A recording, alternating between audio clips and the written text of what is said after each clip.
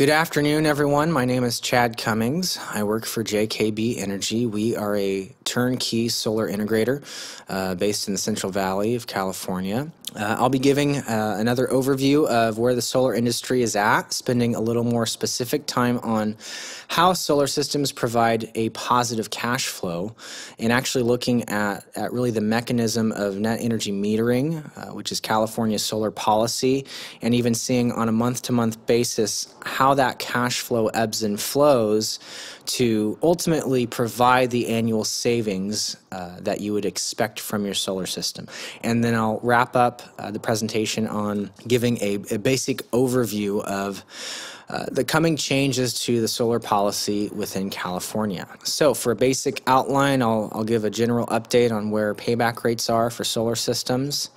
Uh, I'll go through the details of uh, how solar provides a positive cash flow, um, even in the first year and then, uh, of course, outline what we know uh, about the changes coming to uh, California's solar policy in the next 12 months. There's a lot of things we don't know, but there's a few things we can uh, safely start. Um, I guess working under certain expectations of changes. So I'll outline that. Some of that revolves around the federal investment tax credit, uh, but a lot of it revolves around what we're calling net metering 3 which has not been implemented or really determined yet, uh, but we are uh, starting to see some direction that the proceedings um, may take over the coming year.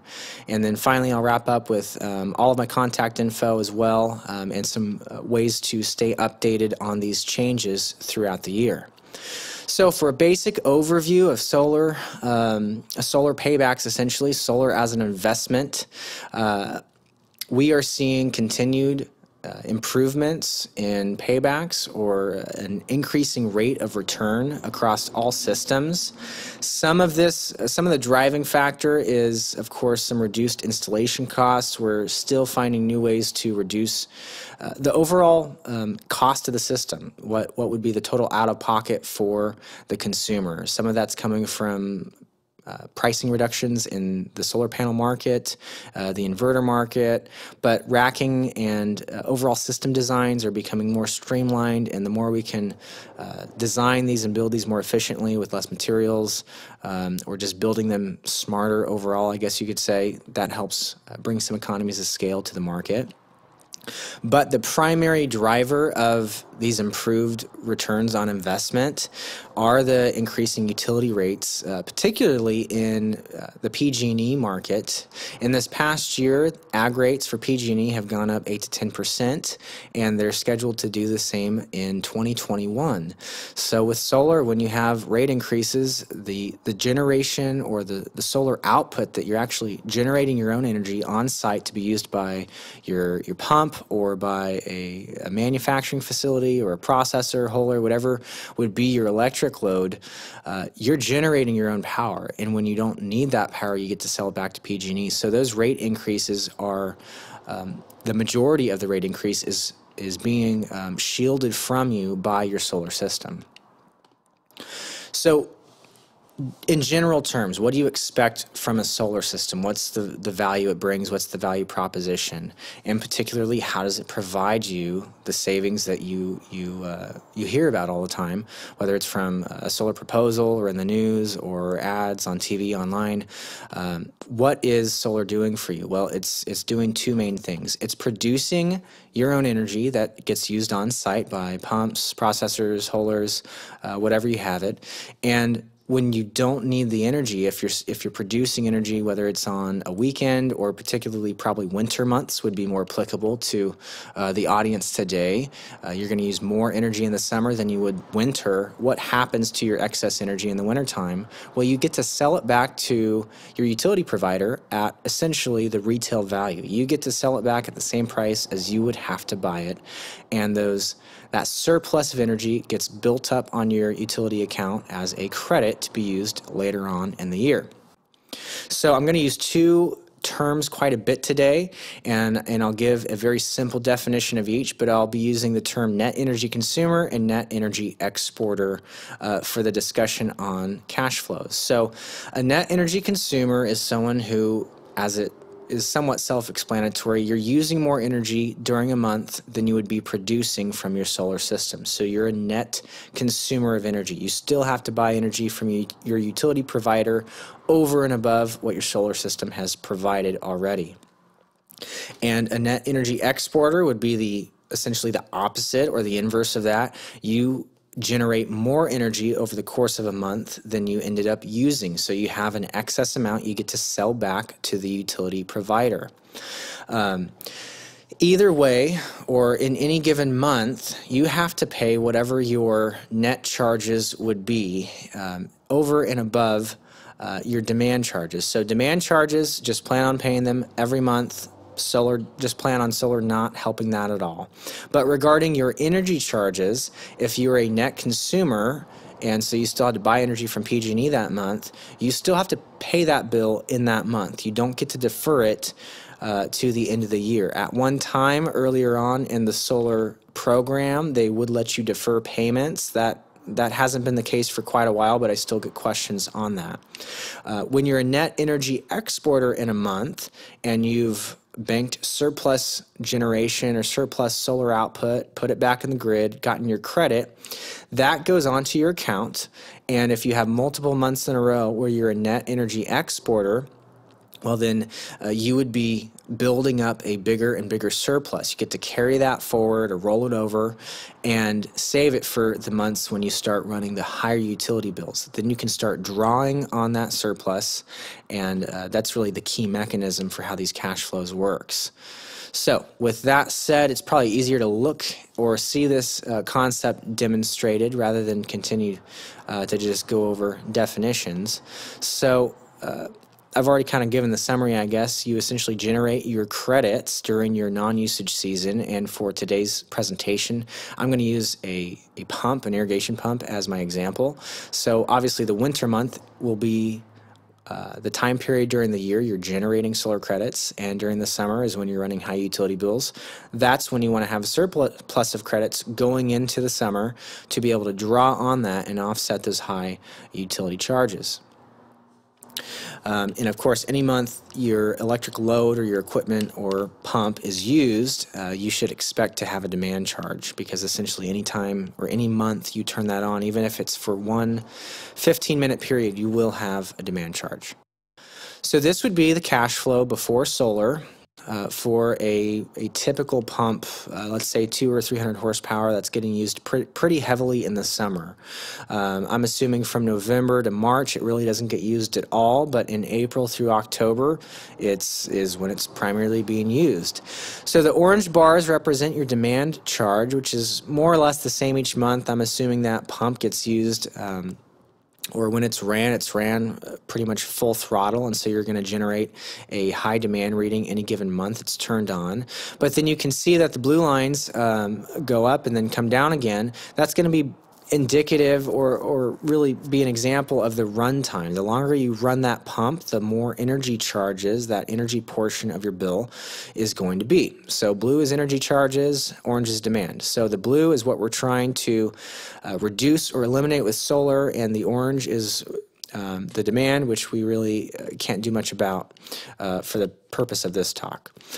So this would be what your solar uh, cash flow would look like in roughly the first year of your system. And the year one versus uh, year two and subsequent years actually look a little different. And that's what I want to draw some attention to today, uh, just based on the feedback I've gotten from um, quite a few individuals. So, for the sake of uh, this illustration, let's assume that your true up period is, um, is in uh, between July and August. So August 1st, that system came online. You can see that in this month, the blue, uh, the blue um, energy charges is significantly lower. That would be the system still producing um, a lot of energy on site, but not enough energy to offset all of your energy charges. So you're a net consumer, so you still have a net bill due to PG&E. So you pay your demand charges and then you pay your energy charges on top of that.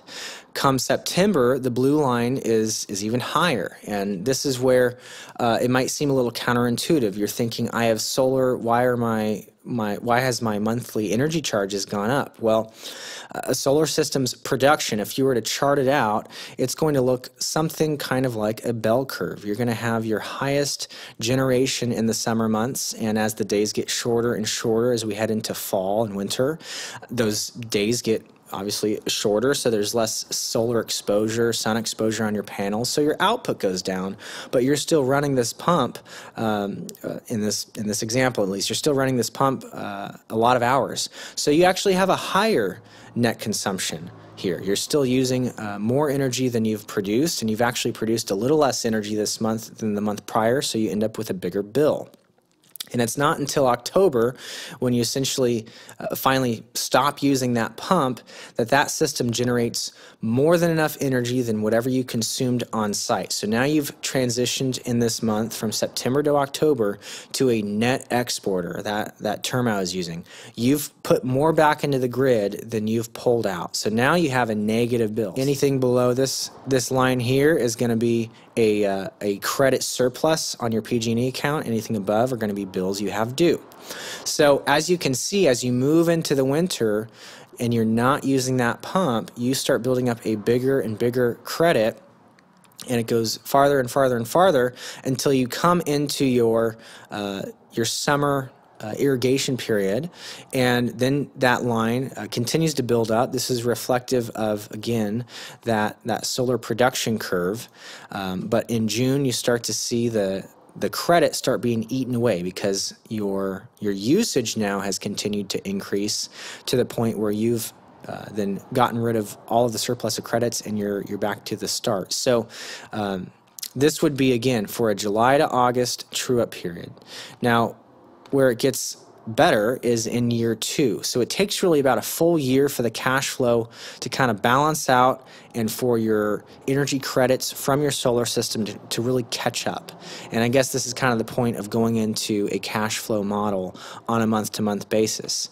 This would have the same true up period. But now, starting in year two, where again in August, you can see here, because you've been carrying that surplus forward, versus the, the prior slide, you start here and you have a net charge due to PG&E. In this next month, because you carried forward uh, the, the surplus, you actually don't have a bill due in August. And then in September, you have a small bill due. Uh, forgive me, this is a... Uh, the whole virtual presentation uh, still getting still getting used to it. But you can see here that you have a much smaller um, much smaller net bill due to PG&E. And, and so from year two on, this is what your cash flow essentially will look like. You've, you've, had, the, uh, you've had enough time in your non-usage months to build up those surpluses to carry you through your high usage season. So that's really, really the whole point of looking at the cash flow from year one to year two and then forward. Um, solar really provides a, a um, a great mechanism for reducing those energy bills. But it does take about a year to really kind of hit your rhythm, so to speak, for that. So uh, if you have an aggregated system as well, where you have multiple meters being offset by a single solar system, um, it works the same way. It's just across all the meters that are combined, and it, it essentially gets more complex if you were to try to chart it out. Um, so hopefully this isn't uh, too much in the weeds, but um, it, hopefully demonstrates the point that um, you really just have to see that system accumulate its credits. Um, and in both years, even in year one, uh, you end up saving the same amount of money in total. It's just when you when you save up uh, the credits versus when you're spending them. So to kind of wrap this up, um, your solar anniversary or when that system was initially turned on and approved by your utility provider is what determines that true up time during the year. Um, the first year of your solar operation is really critical to kind of establishing that cash flow. Um, you will save the money that you were projected as long as the system is, is operational and performing as it was projected. Um, and once you hit that second year is usually when you start seeing um, that smooth cash flow coming in and ideally you should only be left with really the demand charges left. Um, and again, this applies for aggregated systems, but for simplicity today, just wanted to keep it to a single um, pump example. So uh, with uh, the few minutes I have left, I just want to give a few uh, kind of key points to watch out for and keep in consideration um, for anyone who might be interested in solar. So uh, current paybacks are the best we've ever seen. I'd say on average they're about two to three years. In some cases, even um, less than a two-year payback if um, if kind of all the the stars align on on the project, so to speak. Usually, larger projects will see um, faster paybacks just due to economies of scale. Um, these return on investments are based on the current solar program, which is net metering 2.0. Uh, that provides a full retail rate for the energy that you produce back in the grid, less any uh, non bypassable surcharges. Um, when you net export, um, that ends up being about two cents a kilowatt hour. It's a pretty negligible amount. So, for all intents and purposes, um, you're really getting a great deal under NEM 2.0. Um, you have that annual true up, you have aggregation available for those who want it, um, and you're, you're getting top dollar for your energy, especially as energy costs continue to increase. So as of right now, we are expecting net metering 2.0 to last through about the end of 21, uh, 2021. So we're anticipating about a year left. That's not a, a hard and final date. It could happen before the end of 2021. It could happen after. I don't know. It's it's really there's too many balls in the air right now to be certain. But I'd say in general terms, we have about a year left. Uh, we know that proceedings are starting to pick up between all the parties and entities that get to have their input into what that NEM3 policy will be.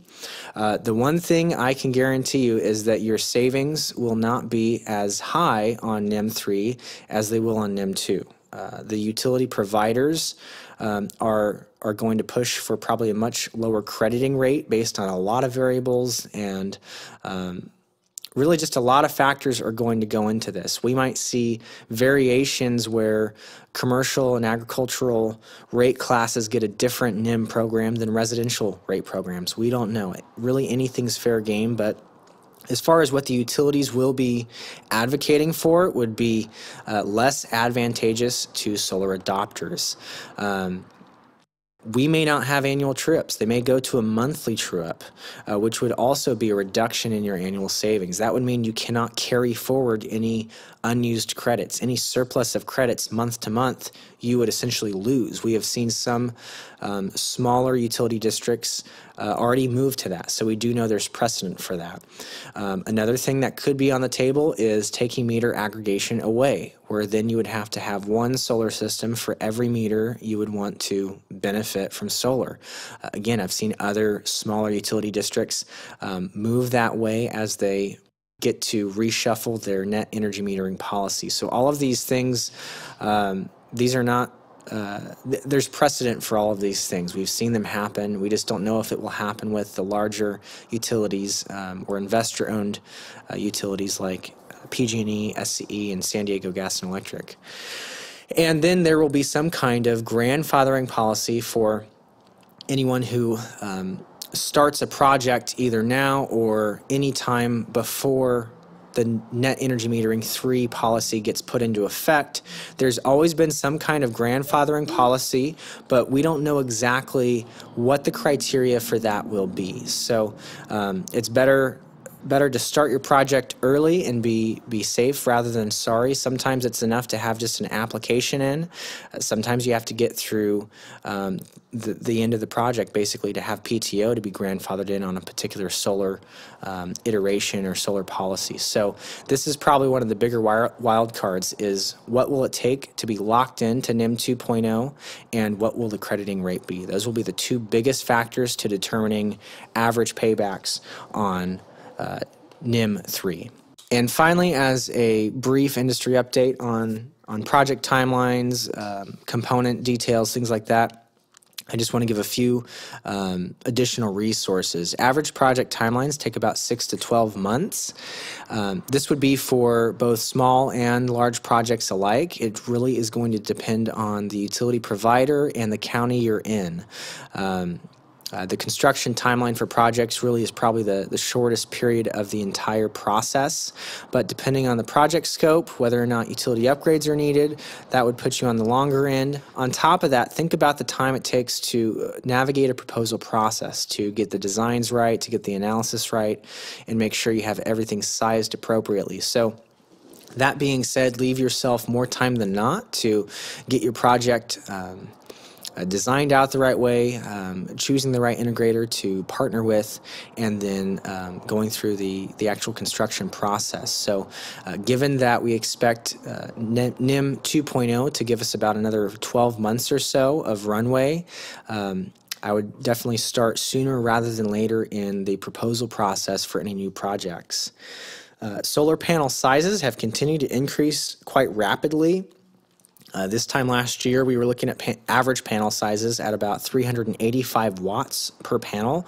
We, we are seeing projections of 435 to 465 watts um, being probably the typical size. Um, as I mentioned earlier, the balance of system costs have continued to decline as we find more streamlined ways to install these uh, systems. And last but not least, we have the investment tax credit that uh, is obviously declining year over year. Through the end of this year, which means you've got about three weeks left or so, you can lock in your tax credit at 26%. That would be 26% of the total project cost you get back in the form of a tax credit in the year in which you finish your project. So, obviously, any project you start right now is not going to get finished this year. However, you can lock in this 26% and carry it forward into a future year. In 2021, uh, starting on January 20, uh, January 1st, the tax credit will be set at 22% for all of next year, and in 2022 and beyond, the tax credit is set for 10% moving forward. So, uh, for those of you who are not familiar with the, the safe harboring requirements for the federal investment tax credit, you just have to have 5% of incurred costs in your project uh, with a contract. So, you've got to get a contract done this year and essentially put a 5% deposit down if you wanted to lock in at 26%. Next year, you'll have that same opportunity, uh, but it's at 22%. If you lock in at either of these rates, you are safe harbored at whatever rate you lock into through the end of 2023. That means you've got a couple years to finish your project and get it online. If your project does not get finished by December 31st, 2023, uh, it will revert to the 10% mark. The 10% tax credit is essentially set there indefinitely the way the uh, legislation is written. So visit jkbenergy.com for uh, art- lots of articles that we have up there. We have a monthly newsletter and we'll be providing regular updates specifically on the NEM uh, 3 transition. So thank you everyone for listening. I hope you found something uh, beneficial and of value in this conference. Of course, you can contact me directly. Uh, again, my name is Chad Cummings. Um, I'll put my contact information up up here, please feel free to email me or call me um, or visit our website for any um, uh, updates. Again, you can sign up for a newsletter. And of course, if you're interested in a, a solar uh, installation or even just want to see some um, complimentary analysis on what solar could save you on whether it's your pump or any kind of facility or business, please contact me and I'd be happy to work with you.